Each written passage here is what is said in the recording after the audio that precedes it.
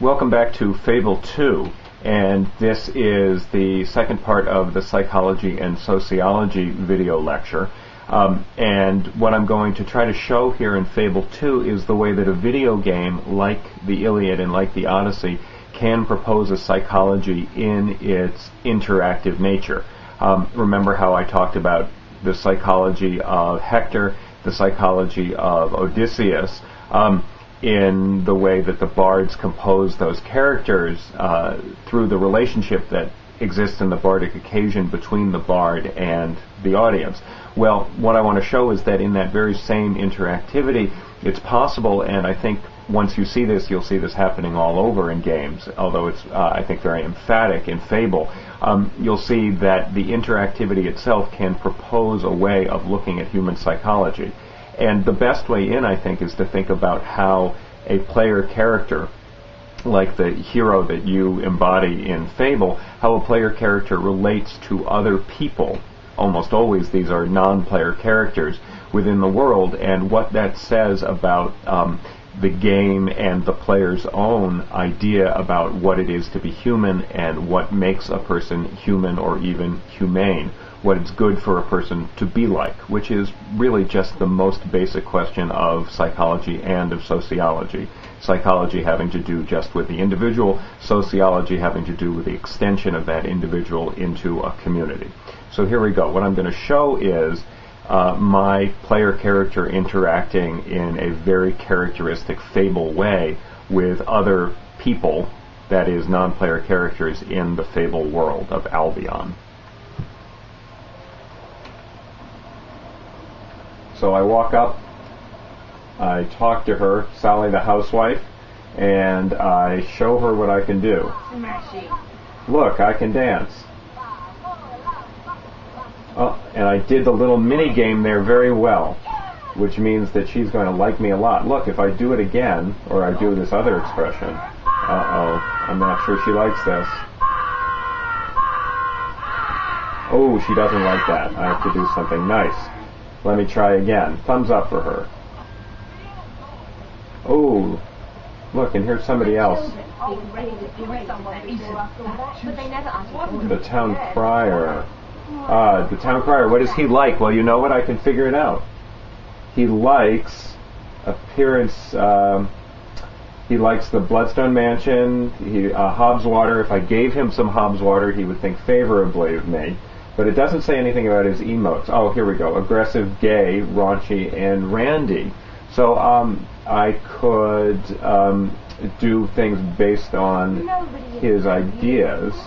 Let me see. Okay, playing a little mini game here. I'm showing him my strength. Uh-oh, I made a mistake. Ooh, let's try a different expression. All right. Oh, he likes me a lot now. Ooh, gonna whistle now.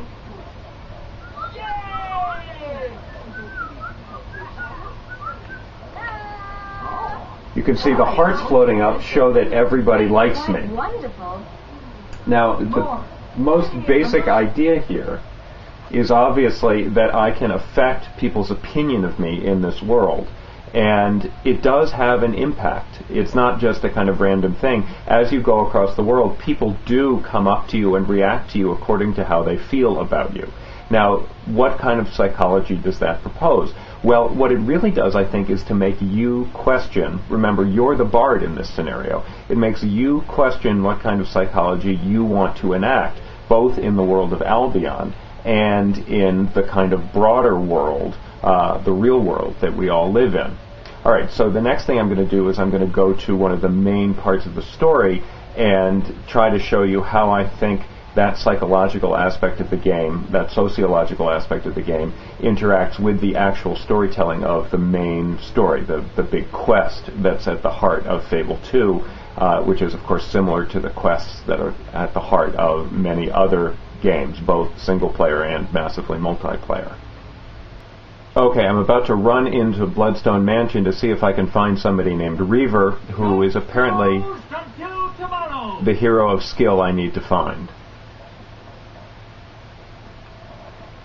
The shops are now closing. Well, Hello there. Always a nice surprise to have company. I don't get many visitors to my little coastal paradise. Especially ones who might well redefine a man's concept of paradise. you little minx. Notice I just On gave a little emote to him. Make it through Wraithmarsh. They're lost, confused, scared. But not you. You are looking for someone. And if you're looking for someone in Bloodstone, let's be honest, you're looking for me. But I'm afraid I hate wasting time on nobodies. That's you. Tell you what, why don't you go out and rescue some travelers, or slay some beasts, or slay some travelers? The details are unimportant. But prove to me that you're worth dealing with, and you'll have my full attention. That's it. Scoot, off you go. Vamos, veit. Allez-vous-en.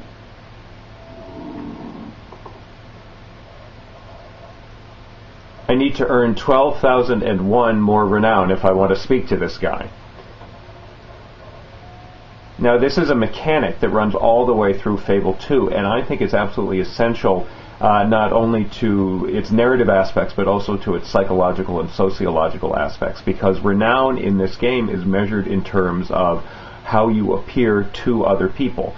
And most importantly, as you gain more renown, more people will pay attention to you and come up to you, and then the aspect of how many uh, funny things you did for them, which includes farting, as you'll hear in the interview with Peter Molyneux that I did uh, over the winter. Um, that aspect of people paying attention to you and them, these fake people, having an impact on your experience of the game is where I think the psychology of Fable lies. And what I think is wonderful about it as a way of asking a, the question, how does the psychology or the sociology of an interactive medium like Ancient Epic or video game work? I think the wonderful thing about it is it makes you decide how that psychology is going to affect you, how it's going to affect your gameplay. One of the things, like you said, as you that you can do is actually kill those NPCs who are coming up to you, and the question of whether you're going to do that, how you're going to play the psychology, is the thing that in the end is going to have the greatest impact on how the psychology of the game works for you. That is, as the power was the bard's, to change up the psychology of Achilles or Hector or Odysseus. The power is yours to change your own view of the psychology, to try out things. And that's going to lead us on directly into our anti heroism uh, module, which is coming up next.